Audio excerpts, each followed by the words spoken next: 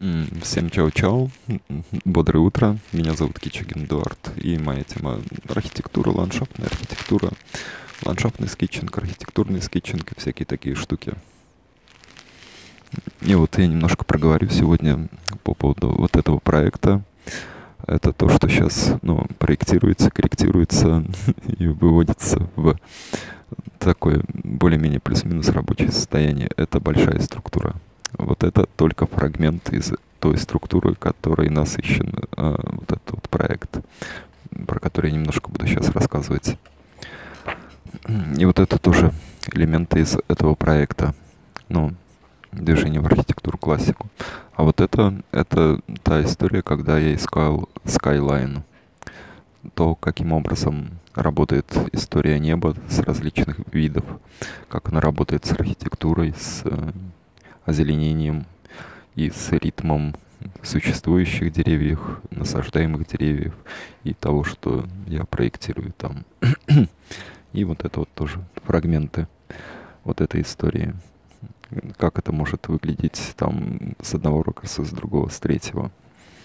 Ну и смысл моего спича, как обычно, в том, что э, такие вещи очень просто решаются с помощью скетчинга, но немножко трудно их решать там с помощью компьютерного моделирования. Хотя я постоянно делаю компьютерное моделирование, но момент концептуальной архитектуры, концептуальной проработки проекта мне наиболее комфортно делать в виде такого зарисовки, скетча.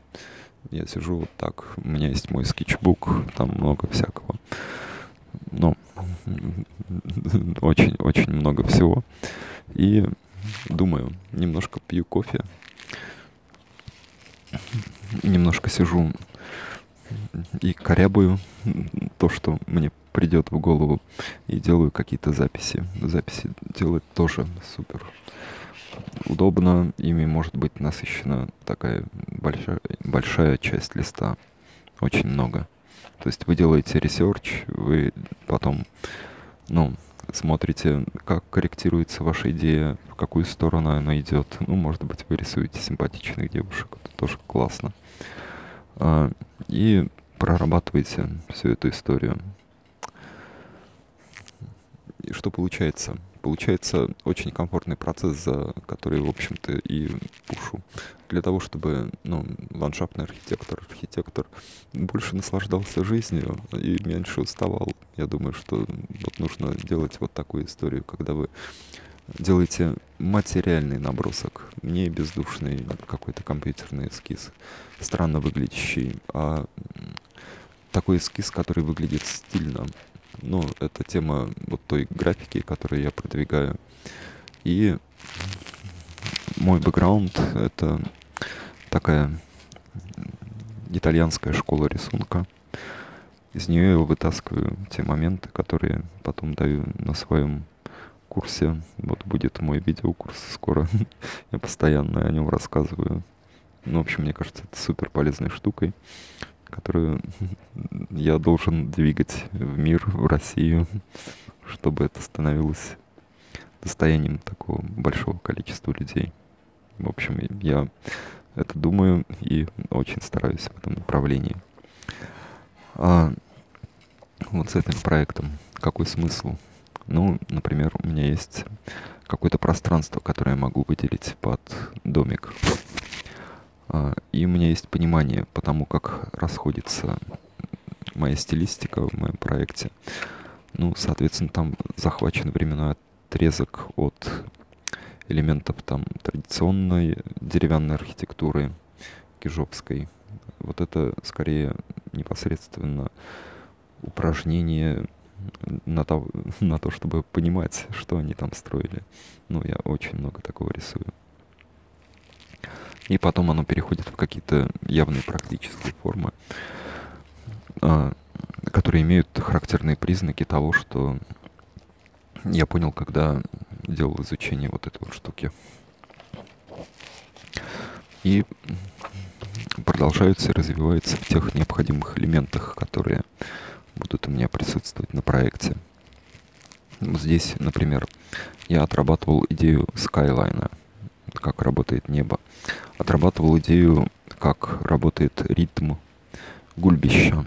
Гульбище — это такой тип перголы, который пристраивался к традиционному русскому домику. Вот тут крыша такая, она выносится в сторону. Здесь идут вертикальные столбы, и получается как будто бы отдельная открытая веранда для домика, когда человек может выйти, посидеть и насладиться окружающим пейзажем. А, и я смотрел, как работают вот эти ритмы, как работают эти пространства, как работают высоты. Вот такая высота. Понижение, вот такая высота. Еще превосходящая высота, вот такая форма. Понижение, вот такая превосходящая форма. Понижение. Как я могу этим всем отработать ритм? Как он работает ну, с элементами озеленения, которые могут прийти в этот проект. Ну, это все такая, как большая симфония, как музыка. Ну и, соответственно, там делаю какие-то подписи для того, чтобы мне потом было все понятно. Ну и не только мне понятно. Любому... Я ухожу в сторону, там, мой скетчбук остается на столе. Я думаю, человек должен прийти, прочитать это все и понять, какую идею я имел в виду. И для этого мне он достаточно только пишущий инструмент. Ну, я использую сейчас линеры, иногда использую там такую штуку, параллель пен, она тоже супер крутая. Мне очень нравится. Но, конечно, круче всех, безусловно, перо. А, перо и тушь, оно воспитывает необходимую эстетику, а, ставит руку и дает вам ощущение нормы и очень-очень помогает в наброске. То есть, ну, я считаю, совершенно необходимо научиться этому для того, чтобы э, вот в этом направлении, в котором были очень сильные старинные архитекторы, э, делать какой-то похожий вариант, ну, который опирается на традицию, который не является вымышленным вымышленной идеей какого-то, ну, человека, ну, например, меня, а вытащен из традиции, ну, в моем случае он проведен через большую практику э, работы с э, концептуальным проектированием, ну и с реальным проектированием. Вот. Здесь я отрабатывал такую историю. Мне нужно было впечатление элементов классической архитектуры, ну, архитектуры классики, но перенесенные в идею деревянного зодчества, потому что доступный мне материал — это дерево. И из него сейчас идет большая часть стройки, и поэтому под него я проектирую это все. Но в данном проекте были такие задачи, в том, что мы делаем разбежку в стилях от старинной, вот, например, вот эти вот домики, это как маленькие церкви с э, небольшими башенками, звонницами из традиционной архитектуры кишей. Э, потом следующая стена — это такая большая структура. Блин, к сожалению, я не могу ее сейчас показать. Под рукой нету общих вариантов.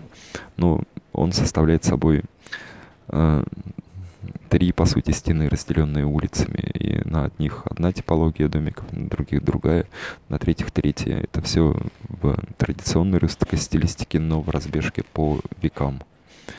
Как немножко менялся стиль. Он сохранял идею дерева, но он менял способ выражения дерева в форме. И вот это вот для той стены, которая крайняя. Это дерево, переходящее в идею уже дворянской усадьбы. И там есть признаки архитектуры классики. И я свожу их с элементами малых архитектурных форм, на которых построено мое пространство общественное. Это вот эти вот перг... элементы перголы гульбища. Я соотношу их с элементами архитектуры классики. Я соотношу и строю на их основе общественные пространства в центре моего проекта. Они выращены вот из этой структуры и прекрасно с ней работают. И, оказывается, прекрасно работает с этой структурой.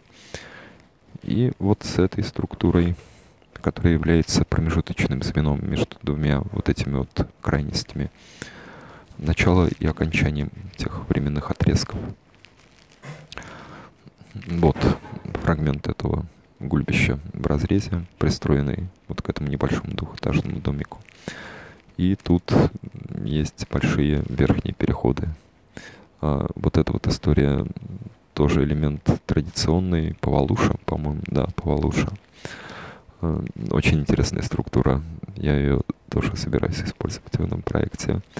И мне кажется, будут очень классные галереи, когда человек может пройти и посмотреть с большой высоты на... Ну, с небольшой, небольшой высоты. Вот человечек. На окружающий пейзаж. Таких структур в этом проекте предположительно будет две, но сейчас скоро придут э, разбредовка по сетям и коммуникациям, и, конечно, может быть, их будет не две, а одна, или наоборот, три, не знаю, посмотрим.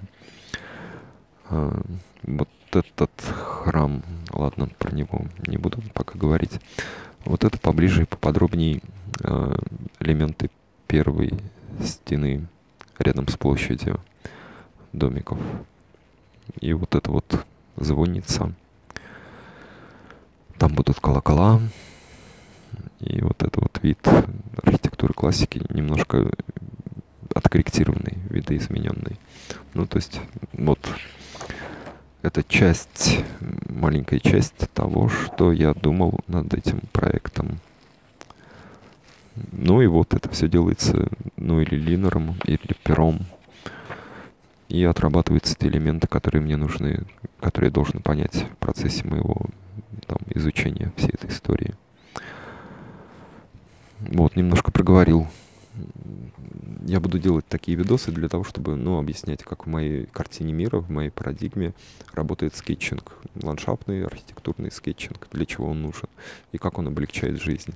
То есть я, ну, когда я делаю скетчинг, я намного больше думаю, чем нежели занимаюсь там какой-то побочной деятельностью, типа 3D-моделирования или там создание презентации или создание работы с автокадом или ну, с чем угодно, что, не, что является обслуживающим процессом. А, делая скетчинг, я замыкаюсь на самом главном процессе, на том, что я очень люблю, от чего не устаю, и что является моей профессией, ну, непосредственно проектирование. Поэтому я вот пушу за то, чтобы все делали скетчинг, потому что это очень-очень-очень сильно помогает, облегчает ситуацию и делает вас счастливее. Вот.